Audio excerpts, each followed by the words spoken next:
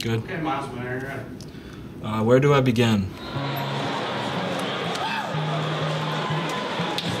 Well, to say I'm proud of you sounds so generic because that goes without saying, and it's pretty much an understatement.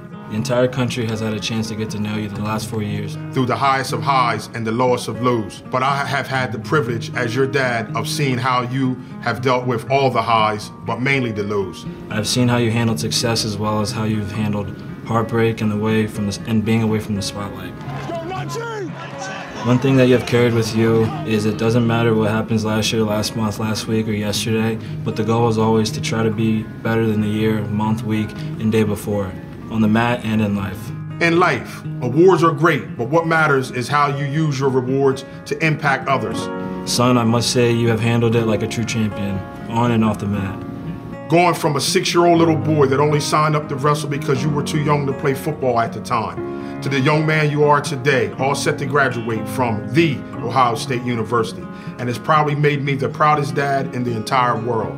Although I'm your father, and I have also give thanks to the coaches who've helped and shaped mold you on the mat, but off the mat as well, because they were extensions of myself. Coach Rick Sassy, Coach Pete DiBiase, Coach Pete Welch, and Coach Joe Bigwell, as well as Coach Ryan and staff, along with all the other great men who have had a profound impact on the man you have become. Also, can't forget to thank your mom, who allowed me to take custody of you at a trying time. And to thank your stepmom, Charlene, who knew nothing about the sport and actually learned it, fell in love with it, and became a bigger fan of yours than myself, if that's even possible.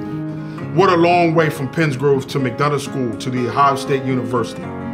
Always honor and never forget where the dream started while watching Burroughs, Bubba Jenkins, Robles, and Ruth compete in Philly back in 2011 when we attended our first NCAA championships. Seeing someone look like you and succeed completely changed the game. I would be remiss to not take the time to thank our Lord Savior Jesus Christ, who has allowed me to enjoy this journey along with you. When I think of how grateful I am, I think of guys like Isaiah Martinez, Kyven Gadson, Mitch McKee, Chandler Rogers, Willie Miklus, and others who have lost their fathers along this journey. So I realize just how grateful I am that God saw fit to still be here with you.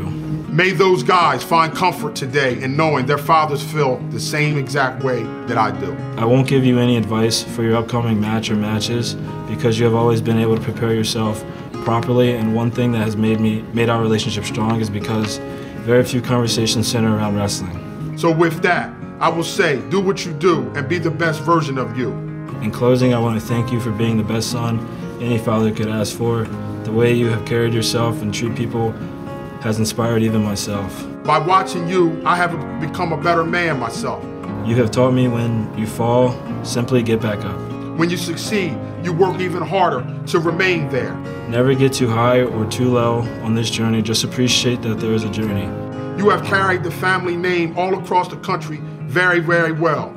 And your impact in the younger siblings, brother Tater, and your sister Justice, as well as many others, will be felt for years to come. The words I've spoken properly, the same words the entire family would say to you. I speak for them all today. With that said, I leave you the same words I said to you on the match on March Day back in 2016. I told you you was the best. Be you. Love Dad.